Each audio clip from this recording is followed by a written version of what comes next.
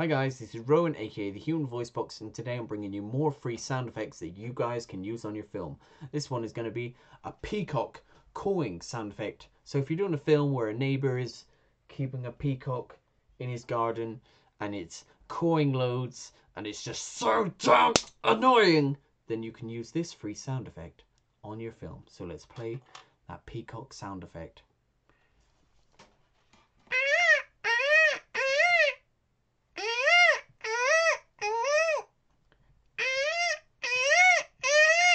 Shut up, you stupid turkey! Oh, sorry guys, that was racist.